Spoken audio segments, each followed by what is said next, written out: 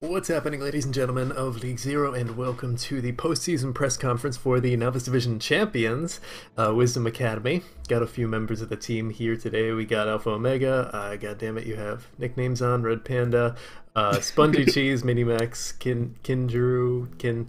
I've heard them call you, and Navino. Do we got know, champion or giving me a uh, whatever. the what? So give Navino champ roll day whatever. Oh, I don't know. We made a vote on it. I don't know where it went. Dividing up the one who brought it up. It's still ongoing, I think. I think it was like dead even. No, Yeah. Like dead even. There goes the runner. Anyways, um, I have questions for you guys. You actually got a decent amount of questions. Shocker, the team that wins or gets to the grand finals has a lot of questions. Okay, uh, trying to do these chronologically. Uh, okay, let's start off with this one. Uh, did it feel like there was any extra pressure to live up to the legacy of season two's Wisdom Academy? I mean like when I went forward, I knew my expectations, but I, I guess like I don't know. I guess what do the rest of y'all think? Because like I never thought there was, but I, like obviously you, you, you as players, you probably even than I did. I I think for me, there was definitely the idea of like following up on season two with them, but it was more of a personal redemption thing from Plotchat. Yeah. I'd say I only started to feel that uh, before grand finals because, of course, my head needed to make up a reason for me to be nervous. But uh, I mean, before that, it was just kind of like, I mean, yeah, I'm on Wisdom. Like, it's going to be a good team because it's Wisdom. But there was never like we have to be better until, I guess, until we lost in the regular season. But mostly going into the grand finals. Yeah. Yeah, 100% agree with Panda. There wasn't a lot of pressure leading up to the grand finals, but then once we had like this, you know, 7 and 0 season and then we lost and 7 and 1, there was definitely this pressure going to grand finals, you know, if we can live up to what we did throughout the rest of the season. I think the turning point, like for me on you guys, was like when, like remember when I went ballistic when you lost the map to SVC? Yes. Yeah. Oh yeah. Yeah. Wait, no, I wasn't there. Never mind. Yeah, you were. Yes, no, you were. No, I and I were I wasn't there Oh, that yeah, night. yeah, That's yeah. why- and I were missing that week. That's Yeah. obviously why we lost them out. Because I was not. It was Halloween day after all. Yeah, it was.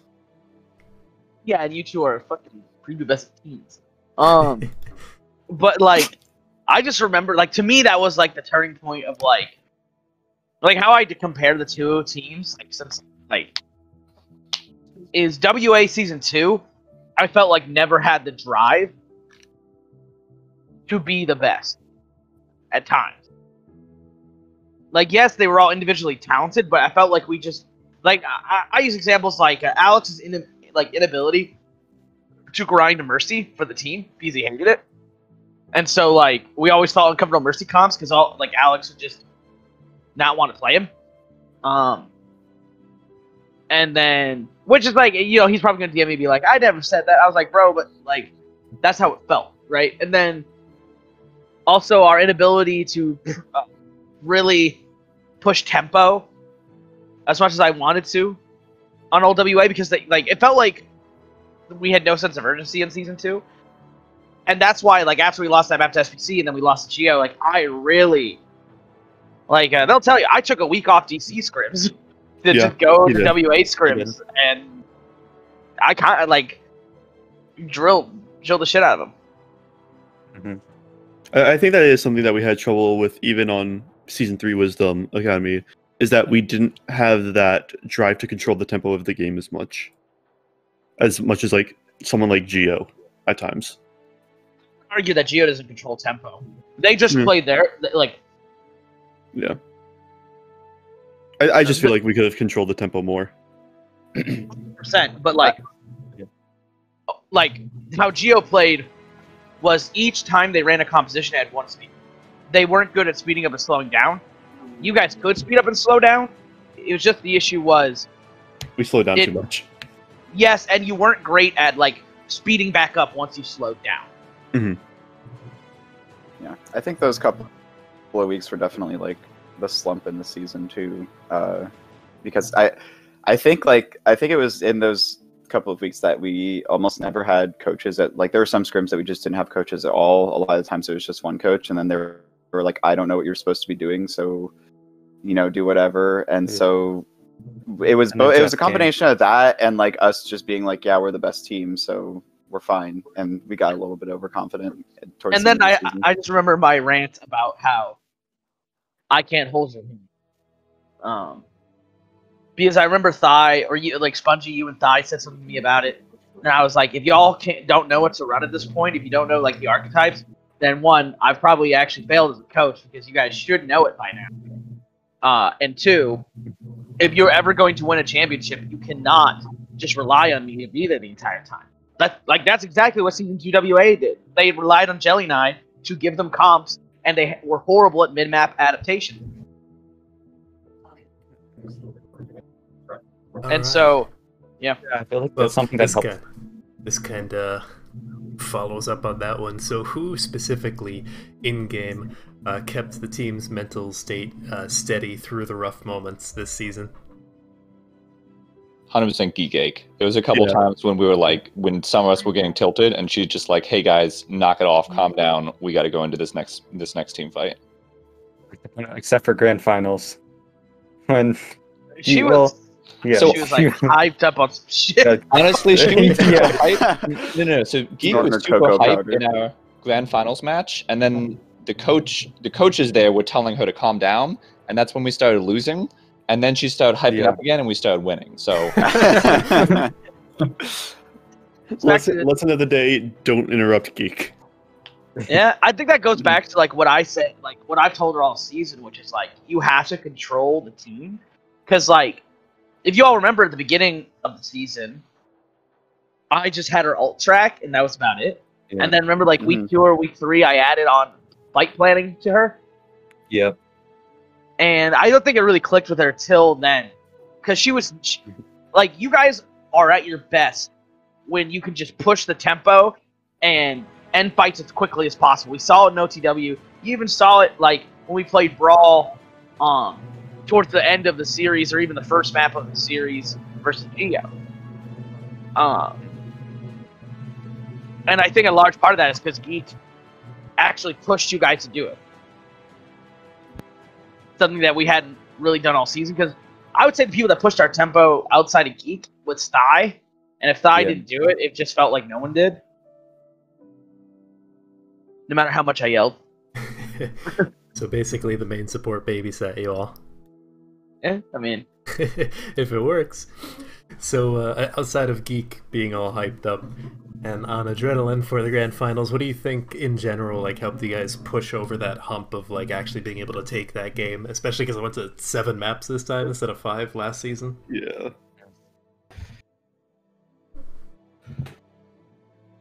So for me personally, there was definitely a moment in that grand final set towards the end where like the fatigue was getting to me a little bit. I was like getting in my own head. Um, but we we did a good job after map six, all just kind of like calming down. And I forget if who in particular kind of led that, but I think it was just like the team overall. Everyone was like, "Okay, guys, take a deep breath, calm down." wait, hey, I get the came. I, water. that was when I Yeah. came into my phone after. No, no, you came in. You came in before map six. What? Oh, was it map five? I came at like. Uh, yeah, you came after map five It when we went up three two. yeah, something like that. I just remember coming in at work because I was closing at work and Yeah. giving a speech. I, I think he came in Yeah. when three one actually. No, Oh, it he was came three. in with three two. Uh, no, no. Three two. Okay. Okay. Yeah, yeah, yeah, yeah. I Because like you had just won to Paul. I remember now. Yeah. Yeah. yeah. Yeah. yeah. Yeah, Yeah, we almost anyway, there's definitely a moment- control. there's definitely a moment where we had to kind of cool down and, and get back in, in the game, and then obviously map seven, we came back into it a little bit stronger and ended up taking the win. Yeah, I think we Oh, hi, kept our Geek. mentals. Hi, geek. Hi. I think we kept our mentals and like our our sort of energy at like kind of leveled out in that series better than we have for like any other series. And I, I mean, I guess it's more important for grand finals because it's going to be a longer series, and it did end up being going all the way. Um, and I think we also did a better job of like actually paying attention to what they were doing and kind of adapting to it um, than in a lot of our other series as well. Um, you know, the the most obvious example being that like Kings Row we were doing really well, and then we got hit by like two or three, at least like five man shatters um, the last point, and that was like really the difference maker. And Jeff pointed that out, and so we were like, okay, like we need to be on top of tracking that ult for sure, and we need to make sure everybody's ready for it. We don't just expect Mini to be there to uh, block it, even though he will block it most of the time. And so we went, when we went to the map seven, and they kept Zexu in because they wanted to like sort of force the Rein mirror, which is understandable because they were doing well there. Um, we just stayed so on top of Zexu that he couldn't do anything. Like that second map, even when it was a Rein mirror, we just kn- knew he had shatter after like the first fight, and we just never let him breathe. And I think that was a really great adaptation on our part. And I think we did a lot more other like little things like that throughout that series. Yeah. I'm I'm pretty sure he got literally no knockdowns in that last map. That being said, like y'all should have lost that uh, point. I'm just gonna be real. with you. Yeah. Um, I mean, we, I mean, like, remember I did like I did like a Zorth also ate review a with- blizzard. yeah, like if Zorth doesn't eat that blizzard, you guys lose that immediately. Yeah. But then you guys did a good job of kiting back and like prolonging the fight. And then Wooly uses beat because he because he was out of sync with EMP because he doesn't think Thigh doesn't have EMP. And then Thigh just rips off beat with EMP and you guys win. Like they went into that fight like five ults to your two, and you guys won. Yeah. And it was just so dumb. Uh, The point still stands. We didn't let them shatter us. it's true. I get it. Uh, so I remember just I go ahead.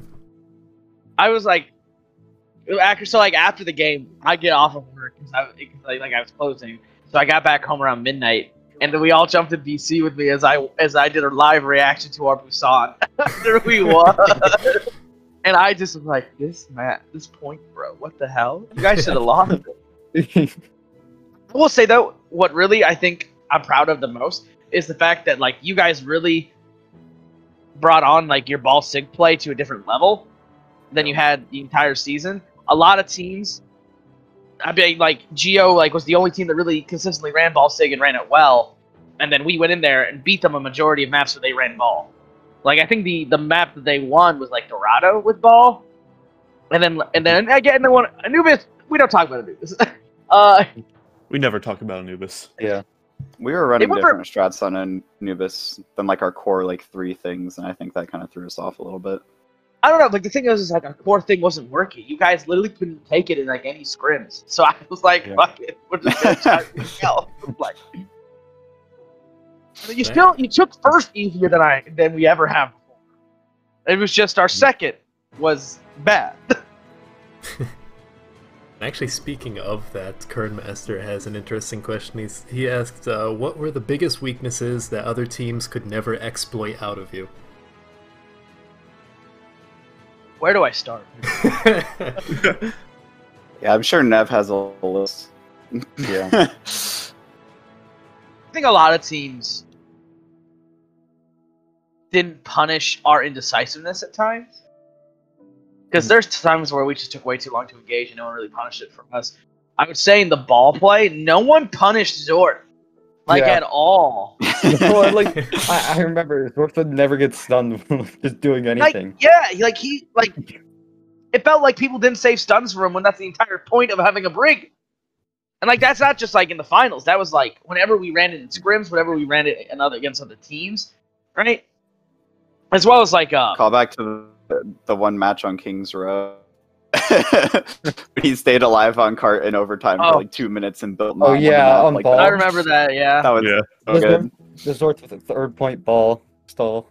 Yeah. Shout outs to Zorth in general since he can't be here. We love you. I, I just like also a big thing is like we ran Sombra Reaper, which is Yeah. right now I would argue worse than Mei Cree in the brawl right now, as well as like we still ran D.Va instead of Sig, and we ran Zari. Like we just I just said like I remember like after seven minutes I was like we're not running Sig brawl anymore because like we just weren't great at it, and I don't think like Zorth Sig is bad. It's just it felt like we just weren't comfortable with it because how the Sig Brawl plays is a little more spammy. And when we play Brawl, how I taught it you guys, you just want to close distance and just run people over. And Sig sometimes has a little difficulty doing that. Um, but like, no one punished the fact that like that they could literally almost charge in and take a five, uh, take a like a, a five v six while the Sombras on an offense. Like when you want to play against a Sombra, right? You just play even faster. Because even if your Rein gets hacked, right? If you push in with the Mei Cree, your Mei and your Mei and Cree have the CC and like the damage to just keep him up. And you still and if you ran like the Mei Cree Bap Lucio, which is really common, then you just throw immortality down and you still win. But no one played fast enough for that to actually work. Because people like just let Thigh set up for days, it felt like. All right. Well, You know what? That actually, I have one more thing to add on that. Um, definitely, other teams had a hard time playing fast against us because, especially in that grand finals, Geo had a lot of trouble with with Thigh's Pharah, which we hadn't run for a while Yeah. before that. But You didn't even run that in scrims. I didn't even Yeah. think you guys were like Yeah. because every Was time I told you to run it? Pharah, you're like, "Oh, Pharah's not that good," and I was like, "Fine, whatever." That was whatever. Thigh. we ran it because I felt like I was getting zero to no value on Brig. Because I honestly was just standing there like, hey guys, don't worry, I built up my ult and then we would win the point. I was like, okay, this is Yeah. fine. I think then Yeah, we Jeff also made another good point that like uh that Geo really didn't stop it on Ike, so he's just like go go Pharah. Yeah, and Especially Ike, I just want like when you watch that back, I kind of just like single handedly kills everyone as Pharah. But I And was that's- crying a night. It was great. wait, what? I What? started What? crying a night because we couldn't kill a ball. Yeah. oh, that stall fight. Oh my god. my my comments for the first two maps were very emotional. Yeah. Oh, was that's funny. very hyperactive. I think I think the main reason we actually didn't want to run the Pharah was because you have to run the Mercy with it, and when we run in that comp, then you're running Mercy Zen, and and so it's really easy to put a lot of pressure on the Zen, and that kind of causes the team to either have to peel for him or lose him, and then that you lose a lot of pressure with that. But I think after the first few, like I. When when we recognized that they weren't running comps that could pressure the Zen with flankers or anything like that, then we could easily just give up the give up the brig to have uh, a Pharmercy, and I just did so much like damage and pressure that they didn't deal with. And even like you can run a Zen Mercy combo ball sig when you run like an Ashe and stuff. But the idea is is that me and Rock actually got to argue about the, argument about this at Quokka Scrims recently, um, where uh, you know the the Mercy is supposed to pocket. So the whole idea of running a Pharah is counterintuitive because the Mercy's not pocketing the Pharah. Because even when you run the Ashe, the Mercy isn't going to be all the time on the Ashe. He is literally just pocketing the Zen, and is then flying to the Ashe to damage boost certain things right? And so that's why running a Pharah with a ball sig is rather like not ideal. Mhm. So like that's something they actually could have punished, hundred percent, but they didn't. Yeah, actually, I think they made swaps like to more hit scan to try and deal with the Pharah instead of making more swaps to pressure me out. Yeah, Yeah, and they they just didn't kill a Thigh because he knows how to play Pharah, right? It's really funny how they the entire team went after Panda that one time on Busan. Oh, on I don't Busan? Oh, yeah. remember that. Oh yeah. Like, That's the funniest else- fight. dude. they walked across the entire map with their and just went into our spawn to chase me. So funny just to rewatch. Because like the um, the Twitch bot has like a perfect view because it's like they hover over him and Geo just chasing you down the spawn. yeah. And I actually did tons of damage to the tanks. So they were like trying to recuperate from that, and then Thigh just came around behind them and barraged. remember Nev's reaction to that. He's like, he, he thought it was like super ballsy. I thought it was a ballsy one considering there was literally a Sigma shield in his face. Okay, Yeah. so uh, this one is more tailored towards the players, but I guess Navino, if you have something uh, in relation to managing, you can also have an interesting answer. But uh, what would you say is the most important thing that you learned this season? Not to tilt. Because I tilted way too much this season.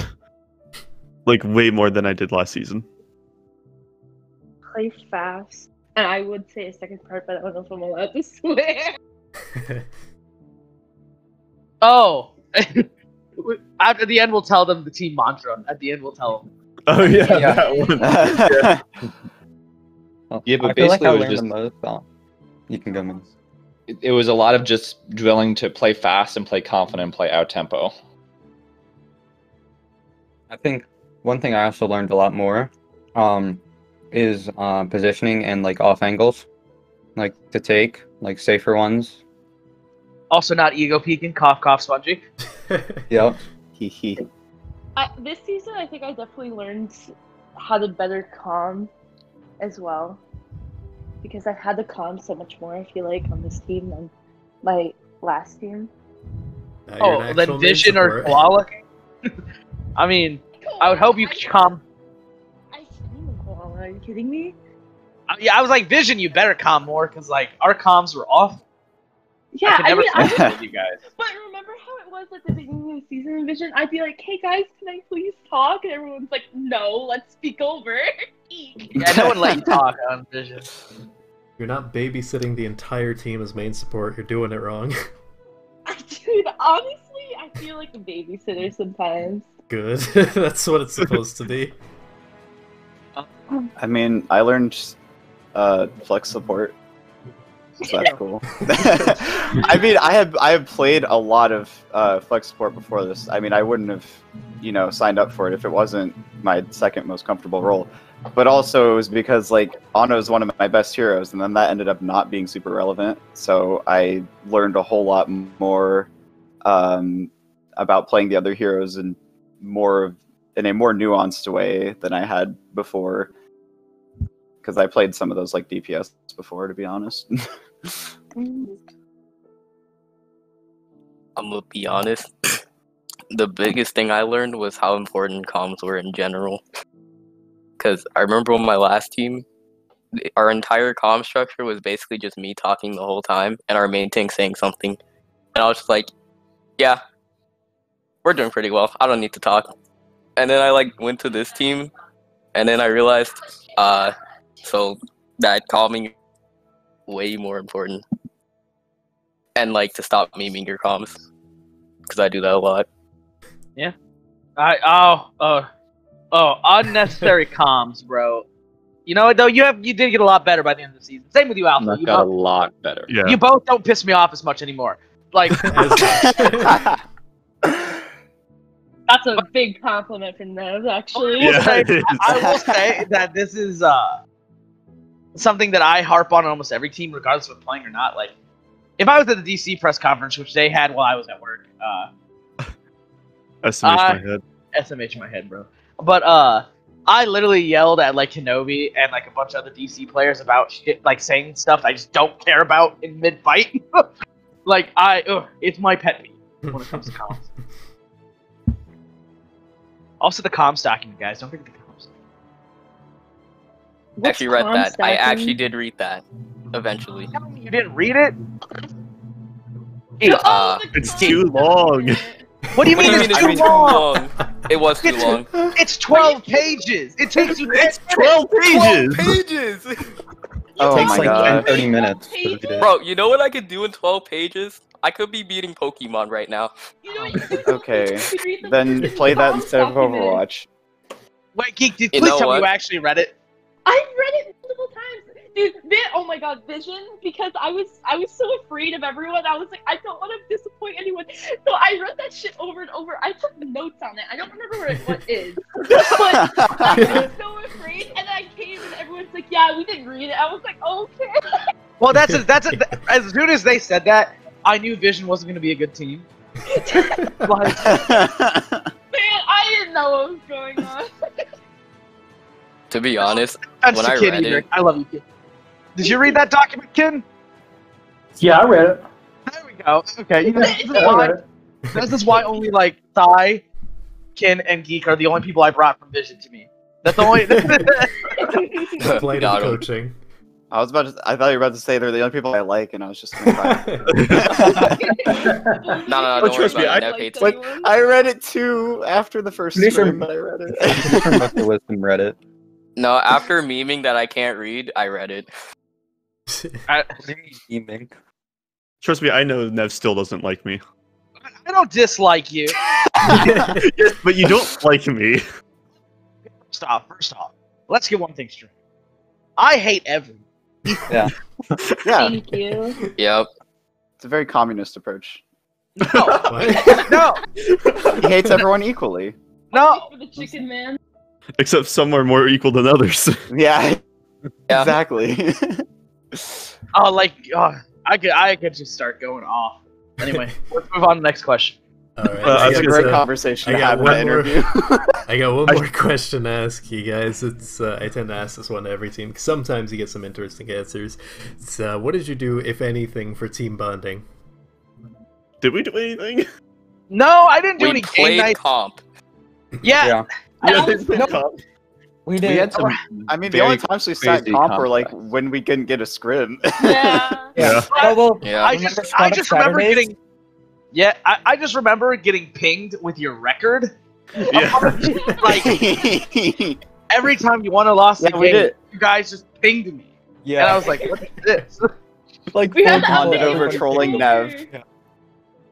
Yes, 100%. We bonded over trolling Nev.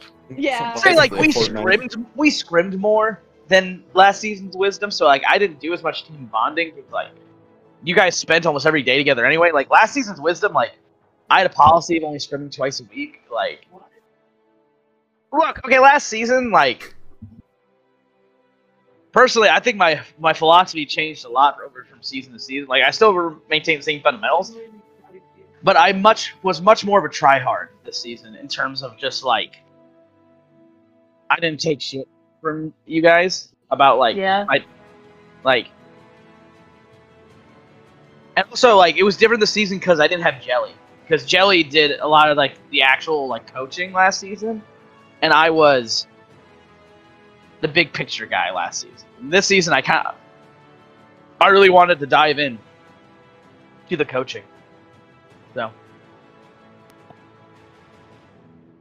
All right. Well, that sounds I like. like- oh. Oh, go ahead. Go. Oh, I was about to say, I feel like, uh, I don't know, I always enjoy going to scrims because I felt like we always had fun at scrims too.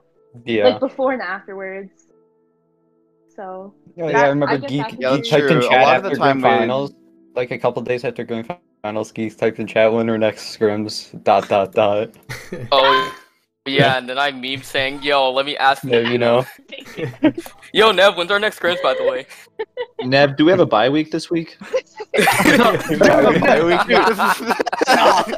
bring that beat back. I can.